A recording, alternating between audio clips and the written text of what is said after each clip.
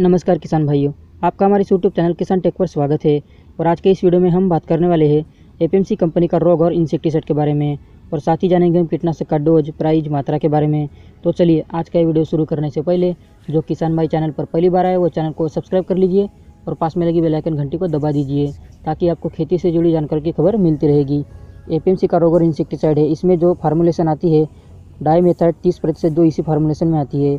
इस कीटनाशक का इस्तेमाल आप सोयाबीन, कपास, मटर, उड़द, मूंगफली, पत्ता गोभी, बैगन, मिर्च और टमाटर पर इसका स्प्रे कर सकते हैं। यदि फ़सलों में कीटों को मारने का तरीका देखें तो यह किस तरीके से मारता है? यह सिस्टमेटिक तरीके से कॉन्टैक्ट तरीके से और स्टोमिक क्रिया के द्वारा इंसेक्ट को कंट्रोल करता है।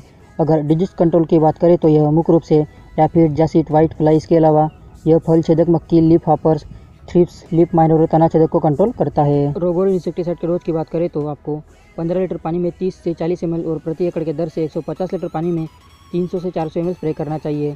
अगर इसके कीमत के बारे में बात करें तो आपको एक लीटर का पैक चार सौ में बाज़ार में मिल जाएगा। इसका रिज़ल्ट आपको 22 दिनों के आसपास देखने को मिलता है। इससे सावधानी क्या है? जब भी आप स्प्रे करें तो सबसे बड़ी सावधानी यह है कि आप पक्का बिल ज़रूर लें और इसके अलावा पानी की मात्रा सही हो, खेत में नमी हो, शाम के समय स्प्रे करें। और इसको आप सिलिकॉन बेस्ड चिप्पो के साथ मिलाकर स्प्रे करें। तो किसान भाइयों, कैसी लगी वीडियो? वीडियो यदि अच्छी लगी हो तो वीडियो को एक लाइक कीजिए, वीडियो को शेयर कीजिए। कोई समस्या या सुझाव हो तो कमेंट कीजिए। आज के लिए बस इतना ही। मिलते हैं हमारे नेक्स्ट वीडियो में। जय हिंद, जय किसान।